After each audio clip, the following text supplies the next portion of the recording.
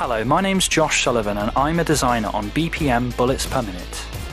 BPM is a roguelike rhythm first person shooter game where all of your actions and the actions of your enemies are tied to the beat of our epic rock opera soundtrack. Everything you do in BPM is tied to the beat of the music. This includes shooting and reloading your weapon.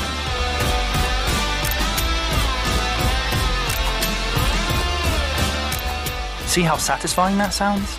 Your goal is to reach the end of our procedurally generated dungeons, collecting different weapons, abilities, and items each time you play.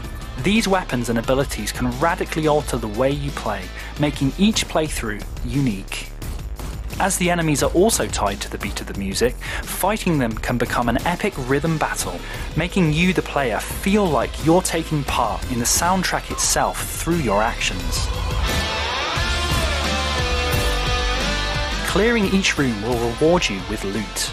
The better you handled clearing the room, the better the reward.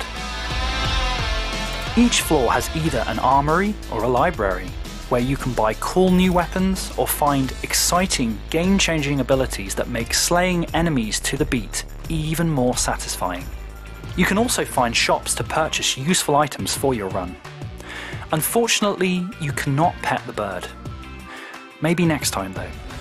Each floor has its own boss and attacks in a unique way that you must learn to exploit if you want to succeed.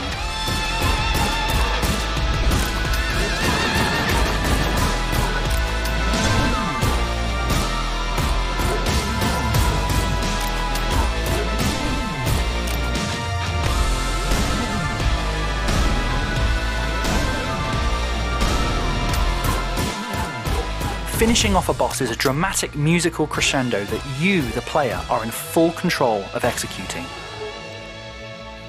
BPM is out now on PC, but is coming to PlayStation 4 and Xbox One this summer. We can't wait to see you slay the hordes of Helheim to the beat.